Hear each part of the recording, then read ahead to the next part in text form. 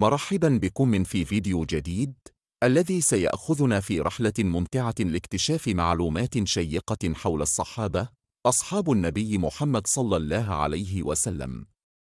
سنكون معا اليوم لنقدم ونجيب عن بعض الأسئلة الشيقة حول حياة ومسيرة الصحابة فتابعونا واستمتعوا بالمعرفة. من هو الصحابي الذي كان معروفا بلقب؟ أبو بكر الصديق؟